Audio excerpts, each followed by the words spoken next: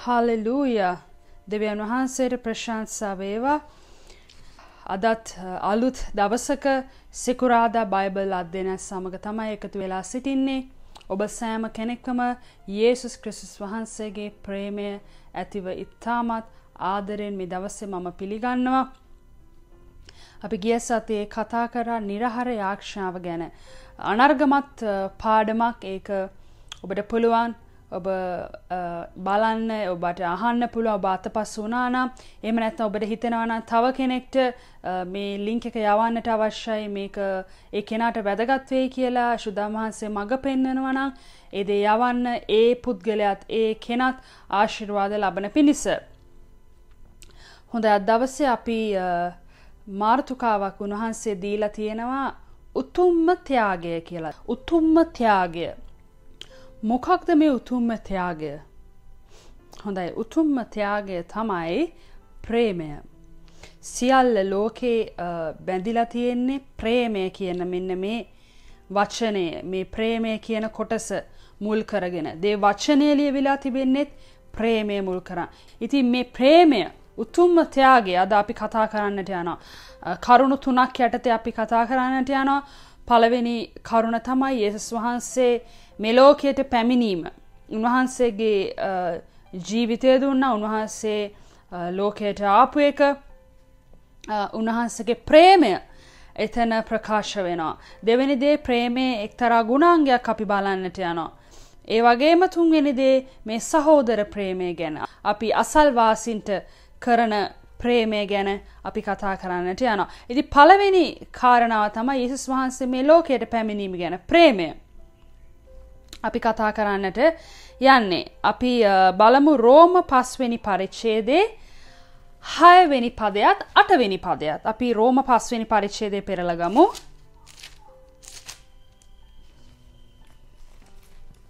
හයවෙනි පදයත් අටවෙනි පදයත්.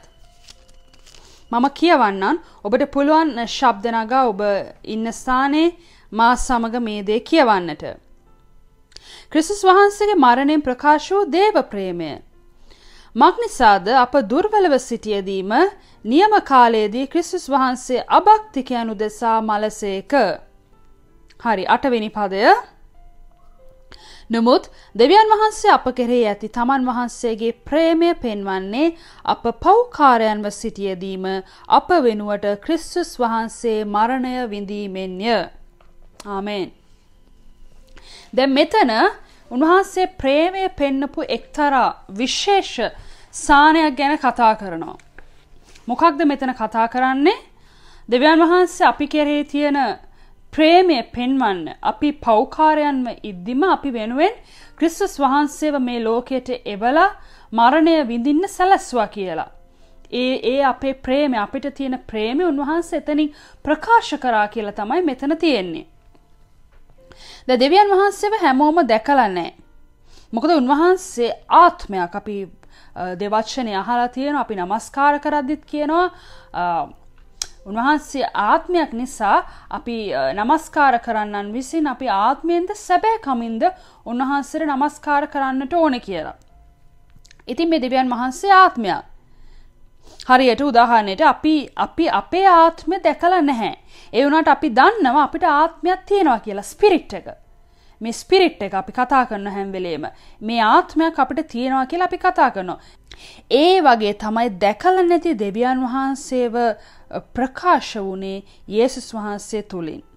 ඒ මාංශයෙන් තමයි උන්වහන්සේගේ ප්‍රකාශනය. යේසුස් වහන්සේ තුලින් තමයි දැකලා නැති දෙවියන් වහන්සේව ලෝකයට ප්‍රකාශ වුණේ. දැන් ඒසුස් වහන්සේ ප්‍රකාශුනේ එක රටකට එක ජාතියකට එක කණ්ඩෑමකට නෙමේ මුල්ලු මහත් ලෝකයට මොකද උන්වහන්සේ එක රටක් එක ජාතියක් මැව්වේ නෑ උන්වහන්සේ මුල්ලු ලෝකයම මැව්වා. ඒ නිසා උන්වහන්සේ මුල්ලු ලෝකයට ප්‍රකාශ වුණා. ප්‍රකාශනය කොහොමද?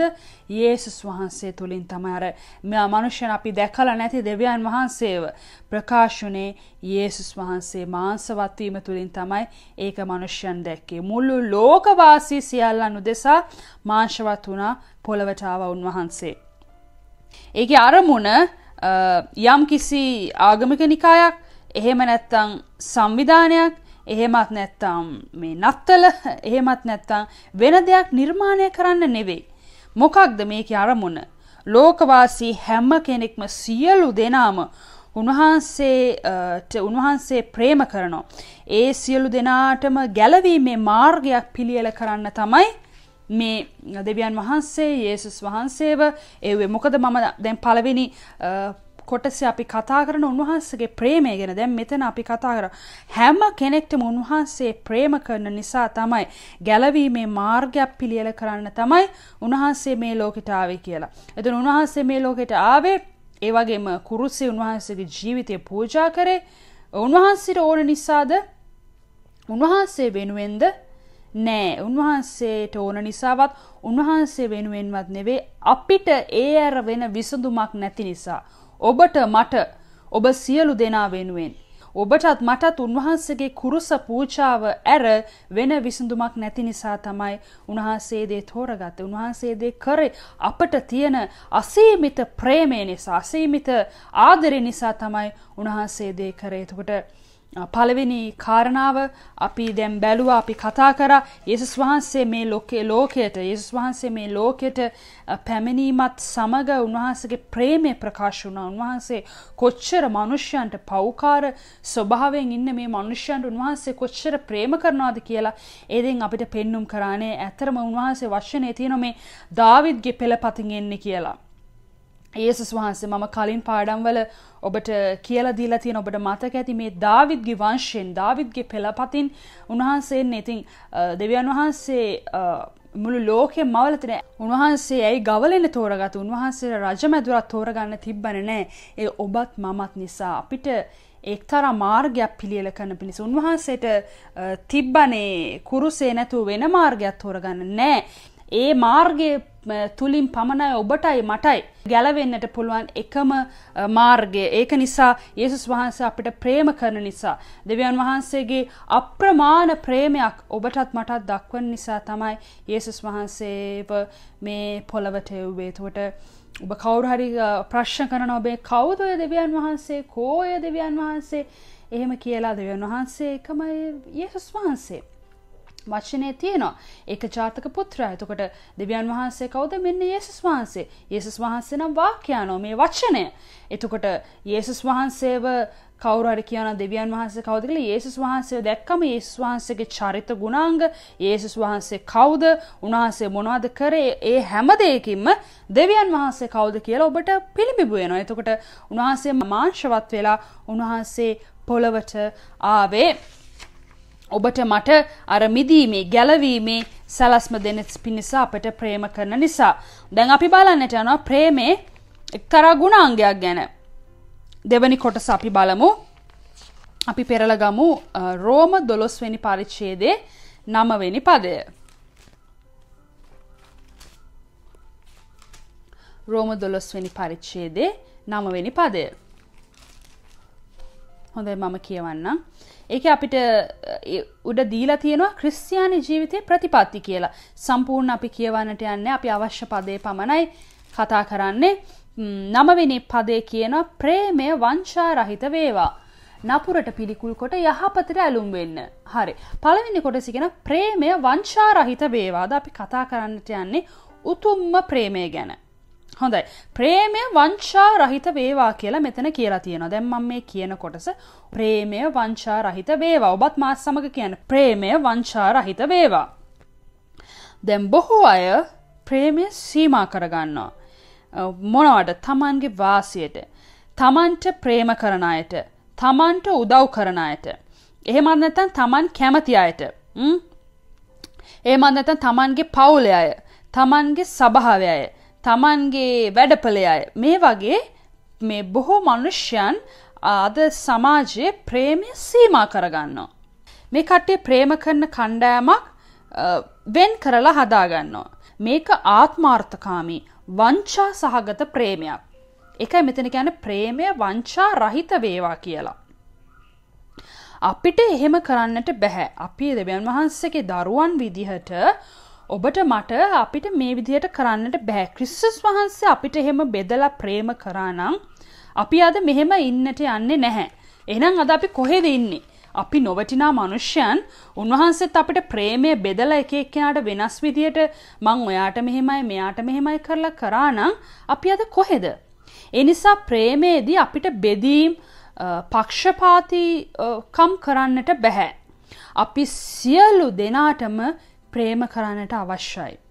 ඒ ප්‍රේමය ප්‍රකාශ කරනවා වගේම අපි ක්‍රියාවෙනුත් ඔප්පු කරන්නට ඕනෙතින් මම හිතනවා මේ එන්නාව ඉදිරි කාලයේදී සහ ඔබේ මේ ගත කරන්නාව ඔබ කාලයේදී ඔබට හොඳ අවස්ථාවන් ලැබේ ඔබේ ජීවිතය ඔබ ප්‍රේමය ප්‍රකාශ කරනවා වගේ මම ඕ ප්‍රේම කරනවා මම ඒගොලො ගැන සලකනවා කියලා කියනවා වගේම ඕ මට ඒගොලො ගැන බරක් තියෙනවා කියනවා වගේම ක්‍රියාවෙන් ඔප්පු කරන්නත් ඔබට අවස්ථාවක් එන්නට යයි කියලා මම හිතනවා. උදාහන්නකට දරුවෙක් අම්ම කෙනෙක්ට යාගේ උපන්දිනයට එහෙමත් නැත්නම් අපි ගමුකෝ දැන් ළඟ එනවා නත්තල. තල් කාඩ් එකක් ක්‍රිස්මස් කාඩ් එකක් ලියලා අම්මා මං ඔයාට ආදරේ සුබ නත්තලක් කියලා මොකක් හරි වගන්තියක් දාලා ලස්සන එයා දාලා අම්මගේ මූණින් බල ඒ දවසේ කෑම ටිකක් කාලා සතුටින් හැබැයි මුළු 365ක් දවස් තියන 364ෙම මේ දරුවා අනිත් දවස්වල හැසිරෙන්නේ අම්මට කැමති විදිහට නෙවේ අම්මා කැමති විදිහට නෙවේ දරුවා හැසිරෙන්නේ. දරුවා නමුත් අර නත්තල් දවසේ ප්‍රේමය ප්‍රකාශ කරනවා. හැබැයි ක්‍රියාවෙන් ඔප්පු කරන්නේ නැහැ. ඉතින් මෙතන මම ඔබට පෙන්වන්නට කැමති ප්‍රේමය ඔබ ප්‍රකාශ කරනවා වගේම ඒක මේ එක දවසකට එක පෑයකට මේව සීමා කරගන්නට එපා. ක්‍රියාවෙන් ඔප්පු කරන්න ඔබ.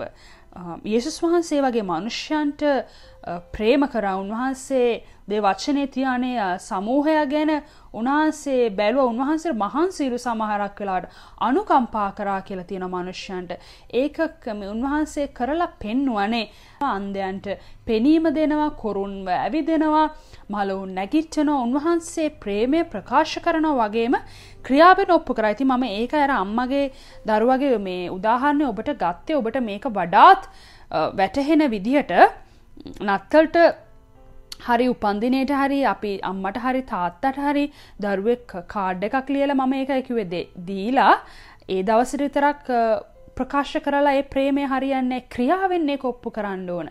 අම්මවට පියාට උදව් කරන්න ඕන හොඳින් ඉගෙන ගන්නක සමහරක් විට එවුන් බලාපොරොත්තුවෙන් දෙයක් නැත්තම් නිවසේ වැඩ කටයුත්තලට උදව් වෙන එක නැත්තම් හොඳ දරුවෙක් විදිහට ජීවත් වෙන එක ඒක දෙමව්පියෝ බලාපොරොත්තු වෙන්නට පුළුවන්. ඉතින් ඒකයි මම කිව්වේ ප්‍රේමය ප්‍රකාශ කරනවා සේම ක්‍රියාවෙන් අපි මේ දේවල් ඔප්පු කරන්නට අවශ්‍යයි. ඒ වගේම නත්තල් කාලේ විතරක් වෙන් කරන්න එපාම ඔබෙන් ඉල්ලනවා. මේ නත්තල් කාලෙ විතරක් ඒක සීමා කරන්න නැතුව හැකි සෑම විටම වචනේ තියෙන්නේ ප්‍රේමය වංචා රහිත වේවා. වංචා රහිතව පරාර්ථකාමීව අනුන් ගැන සිතමින් ඔබ ප්‍රේම කරන්නට අවශ්‍යයි. ඉතින් ඔබට අන් මනුෂ්‍යෙක්ට දිය හැකි උතුම්ම ත්‍යාගය තමයි ප්‍රේමය. ඉති ඔබට තව මනුෂ්‍යෙක්ට දෙන්න පුළා හොඳම දේ හොඳම ත්‍යාගේ උතුම්ම ත්‍යාගය තමයි ප්‍රේමය. ප්‍රේමය කියන්නේ බඩු මුදල් තෑගි විතරක් නෙවෙයි. ඔව ඒ හොඳයි නමුත් ඒක විතරන්න නෙවේ. අන්න වෙනුවෙන් කාලය දෙන එක ඔවුන්ව බැහැදකින්නට යන එක එහෙමත් නැත්තන් දුරකථන ඇමතුමක් දෙන එක පණිවිඩයක් කියවල ඒගොලො ගැන හොයල බලන දේ ඒගොලොන්ට සවන් දෙන එක එහෙමත් නැත ඔවුන් උදෙසා යාක්ෂා කරන එක ඔවුන්න දිරිගන්වන එක මෙවැනි කාරණා මේ ප්‍රේමය අඩංගුයි. ඉති ඒක මං කිව්වේ ඔබ ප්‍රේමය ප්‍රකාශ කරන්න ඒවගේම ක්‍රියාවෙන්නේ එක ඔප්පු කරන්න ප්‍රේමය වංචා රහිත වේවා. හොඳයි දැන් අපි තුන්වෙනි කාරණාව බාල දෙස බලාන්නට යනවා. ඒක තමයි සහෝදර ප්‍රේමය. හොඳ අපි පෙරලගමු රෝම දහතුන්වෙනි පරිච්ඡේදේ අටවෙනි පදය. රෝම දහතුනේ අටවෙනි පදය. එකිනෙකාට ප්‍රේමවීම මිස අන් කිසිවක් ගැන කිසිවෙකුට ණයව නොසිටින්න.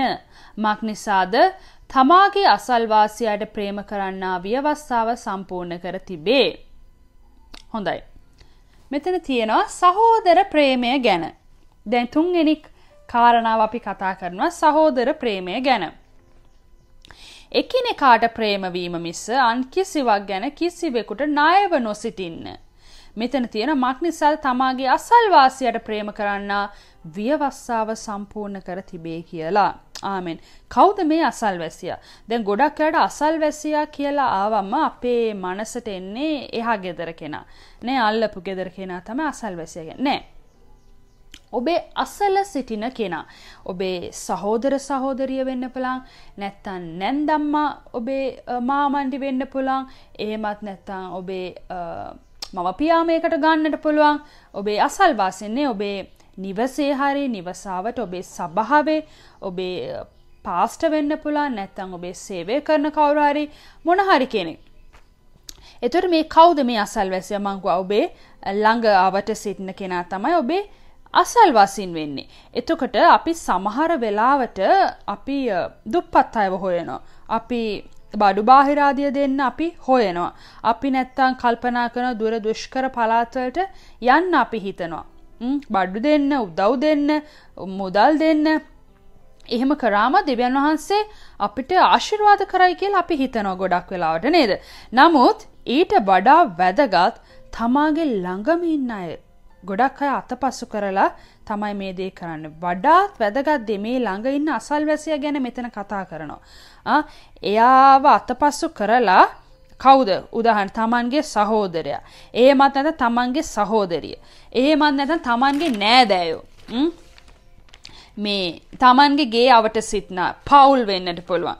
දැන් මේ වගේ. ද ඔබම ටික වෙලාවක් දැන් මොහොතක් මම මේ කියලා දෙන වෙලාවේ ඔබ කල්පනා කරලා බලන්න කවදද ඔබ ඔවුන්ට කතා කරේ ඔබ ඔවුන්ව බැහැ දකින්න ගියේ. අඩුම නැත්තම් කෝල් එකක් දුන්නද ඒ අයට කාලය දුන්නද ඒ අයත් සමඟ කෑමක් බීමක් බෙදාගත්තද ප්‍රේමේ ක්‍රියාවක් කරාද කියලා ඔබ පොඩක් හිතල බලන්න. නමුත් ඒ අයගේ අඩුපාඩු ඒ අයගේ අගුණ දොස් ගැන හිතන්ඩ අනිත් ඇ සමඟ කතා කරන්න කොච්චර ඔබ කාලය ගන්නවද. ඒ වගේ දෙයක් නම් ඔබ කොච්චර වැය කරනවද සමහරක් ඔබ හැම කෙනෙක්ම නෙවේ නමුත් සමහරක් බොහෝ දෙනෙක් තව කෙනෙක්ගේ අඩුපාඩු දොස් ගැන කතා කරන්න කාලය ගන්නවා ඒ කෙනාට ප්‍රේමය ක්‍රියාවක් කරන්න නැතුව.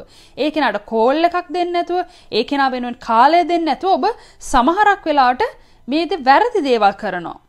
ද ඒ නිසාද තීරණයක් ගන්න. කෝල් එකක් දෙන්ඩ මැසේජ් එකක් දාන්ඩ ආ දිරි ගන්නවන්න කෑම්බීම ටිකක් බෙදාගණ්ඩ මෙලෙස ප්‍රේමෙන් ඔබ පිරෙනකොට දෙවියන් වහන්සේ ප්‍රේමේ ක්‍රියාවක් කරන්න පිණිස දෙවියන් වහන්සේ අවස්ථාවන් ඔබට සලසලා දෙනවා. ආමෙන් ප්‍රේමේ ක්‍රියා කරනකොට ඉබේම ඔබගේ මේ සුභාරංචි කියන්නට ඔබට මාර්ගය පෑදෙනවා. මේ තුල ඔබේ පවුලේ, ඔබේ ගමේ, ඔබ සිටින ස්ථානයේ, ඔබේ ප්‍රදේශයේ වාතාවරණය වෙනස් වෙනවා. ප්‍රේමයට මේ සියල්ල කරන්න පුළුවන්. ඔබ දන්නවද? ඒ වගේම මේ ප්‍රේමේ බලය තුල සියල්ල වෙනස් වෙන්නට යනවා. මේ ඒක තමයි මම කැමති මේ නත්තලේ වුණත්. ඔබට දෙන්න පුළුවන් උතුම්ම තෑග්ග ප්‍රේමය. ඉතින් මොනදේ කරත් වැඩක් නෑ ප්‍රේමය. හදවත ඇතුළේ හිත ඇතුළේ ප්‍රේමයෙන් පිරිලා නැත්තම් වැඩක් නැහැ. ඉතින් ප්‍රේමයෙන් ඔබේ හදවත පුරව ගන්න හැම වෙලේම ක්‍රිස්තුස් වහන්සේගේ මම පළවෙනි කාරණාවේදී කතා කරා. මේ දෙවියන් වහන්සේ කොච්චර අපිට ප්‍රේම කරාද උන්වහන්සේගේ ඒකචාතක පුත්‍ර එවණ්ඩ උන්වහන්සේ මාංශවත් වෙලා මේ ලෝකෙට පොළවට ඇවිල්ලා අපි උදෙසා ආ ජීවිතය පූජා කළ. කොච්චර ප්‍රේමයක් උන්වහන්සේ පෙන්වුවද ඒ කුරුස ගසේදී. ඒ ප්‍රේමය තමයි අපිට හොඳම ආදර්ශය හොඳම නිදසුන අද ගන්න පුළන් ඉතින් දෙවනි කාරණය අපි කතා කරා වංචා රහිත වෙන්න ඕන. වංශාවෙන් කරන්නට බැහැ කියලා අපි ප්‍රේමය කතා කරා. ඒ කියන්නේ සීමා කරන්න එපා. ඔයා ආස කරන අයට ඔයාට කැමතිම කට්ටියට ඔයා මේ ළඟින් ඉන්න අයට විතරක් එහෙම ඔයා සීමා කරලා ප්‍රේමය කරන්නට එපා. ප්‍රේමය වංචා රහිත වේවා කියලා. ඒක තමයි එතන කියන්නේ. තුන්වෙනි කාරණේ අපි කතා කරා සහෝදර ප්‍රේමය ගැන. එකිනෙකාට මේ අසල්වාසීන්ට ප්‍රේම කරන මං කිව්ව අසල්වාසයා කියන අසලම සිටින කෙනා. මතක් කරලා බලන්න කාව හරි මග ඇරුණද? නෑදෑ කෙනෙක්ව සහෝදර සහෝදරෙක්ව කාට හරි අම්මා කෙනෙක් හරි තාත්තා කෙනෙක් හරි නැන්දම්මා හරි කාව හරි ඔබට මතකට ශුද්ධාමයන් වහන්සේ මේ මොහොතේ මතක් කරනවා. මම දන්නවා ඒක ස්ථීරයෙන්ම. ගන්න කෝල් එකක් කතා කරන්න. ඔබට ඒ ඔබ ඒ දක්වා දක්වන්නව ප්‍රේමය තුළ ඔබ සියල්ල ජයගන්නට යනවා. ඉති අත් දවස්සේ අපි දෙවනහන්සේට ස්තුතිකරමු උන්වහන්සේ අනර්ගමත් වච්චනයක් අපිට දුන්න නිසා ඉතින් මේ වචන තුළ මම මේ දේ සටහන් කරද්දි ඇත්තෙම මම ශක්තිමත් වුණා දෙවියන් වහන්සේ කොච්චර යහපත් දෙවි කෙනෙක්ද කියලා. ඉති අපි ඉච්චික වෙලාවක් අරගෙන අපි අපේ දැස් වසාගෙන අපි සුළු මොහොතක් අපි කල්පනා කරලා බලමු මම ටික වෙලාවක් ඔබට දෙන්න කැමති අපි කල්පනා කරලා බලමු. අපි සැබවින්ම අපේ ජීවිතයේ අතපස්සු වෙලා තිබෙනවාද? ප්‍රේම කරන්නට බැරි වෙච්ච අවස්ථා. අපි ඇත්තටම ප්‍රේම කරා. ඇත්තට මම මේ දේවල් කරා. ඔව් මම මේවා කරා අරව කරා කියලා කිව්වට ප්‍රේමය ඇත්තට මේ වගේ කොටසක්. ඒගොල්ලන්ට අවශ්‍ය දේ මගෙන් මිස් වෙලා තියෙනවද? මගෙන් අතපස්සු වෙලා තිබෙනවද? කියලා ඔබ කල්පනා කරලා බලන්න. දෙවියන් වහන්සේ ඔබේ හදවතට මේ මොහොතේ කතා කරේ මම ඔබ දෙසා යාක්ෂා කරන්න. ඔබ යාක්ෂාවෙන් සිටින්න. හල්ලෙලූය. ස්තුති වේවා. ප්‍රශංසා කරනවා. ස්වාමිනි අපි ඔබ වහන්සේට ස්තුතිවන්ත වෙනවා දවස නිසා. ස්වාමිනි ඔබ වහන්සේ යහපත් පණිවිඩයක් ස්වර්ගීක රහස් අපිට එළිදරව් කරපු නිසා ස්තුති කරනවා පියාණන් වහන්සේගේ ඒක ජාතික පුත්‍රයා අපිට දීලා මේ පොළවේ ස්වාමීන් ඔබ වහන්සේ අපිට දැක්වා ඔය ප්‍රේමය නිසා අපි ඔබ වහන්සේට ස්තුති කරනවා පියාණනි. පියාණනි මේ එකිනෙක මනුෂ්‍යයට මාත් ඇතුළුව අපට උපකාර කරන්න ප්‍රේම කරන්න මනුෂ්‍යන්ට ප්‍රේමය වංචා රහිතව ස්වාමිනි තෝරලා බේරලා කණ්ඩෑම් වෙන් කරලා හදාගෙන ආර්ථමාර්ථකාමීව ප්‍රේම නොකර සෑම කෙනෙක්ටම පොදුවි ඔබ වහන්සේ කරාමෙන් ප්‍රේම කරන්න අපි එකිනෙක්කෙනාට කරුණාව නිදහස් කරන්න පියානේ. ඒවගේම අසල්වාසින්ට ප්‍රේම කරන්න. අපේ ළඟ අපිට අත්තපස් වෙච්ච අපි සමහරකට දුර දේවල් හිතනවා. දුෂ්කර පරාත්වලට යන්න උදව් කරන්න සමහරකට අපි මෙහෙම හිතද්දි ඇත්තටම අපේ ළඟ හිටපු කට්ටිය අපිට අතපස්සු වෙලා දෝ කියලා හිතෙනවා පියාණනි. අනේ අපිට සමාවෙන්න අපේ කෙනෙක් කෙනාට ස්වාමිනි මේ ඉදිරි කාලයේදී අපට උපකාර කරන්න ස්වාමිනි.